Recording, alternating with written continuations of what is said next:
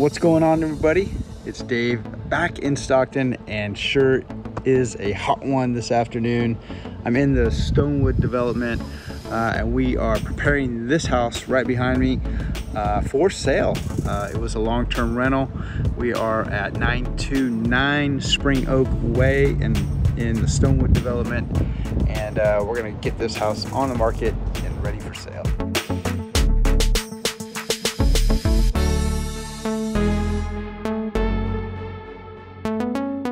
As a long-term rental, there's definitely some things that needed to be done in this house prior to uh, putting it on the market for sale.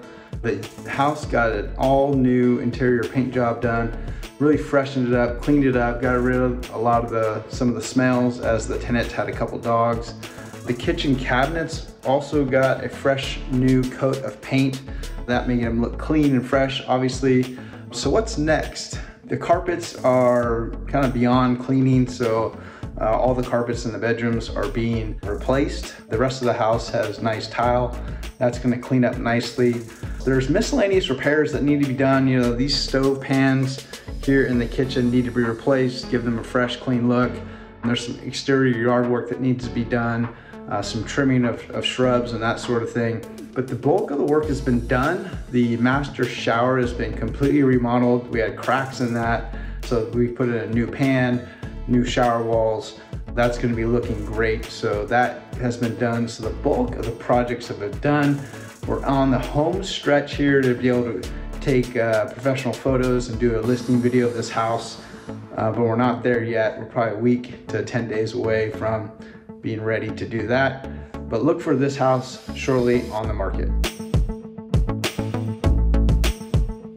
All right, so we're getting close on putting that house on Spring Oak on the market, hopefully a week or two away. Uh, I was gone the last couple weeks, so if you didn't see last week's vlog, we had an amazing trip in the British Virgin Islands.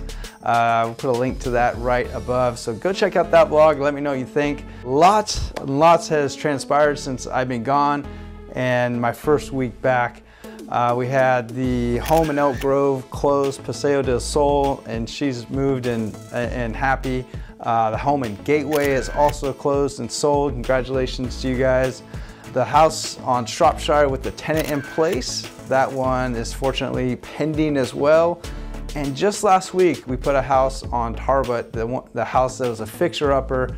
Uh, we got a lot of interest in that home, over five offers and that house is pending above the list price. So lots of great activity going on in the market and I wanna thank my team here for keeping things moving along while I was on vacation.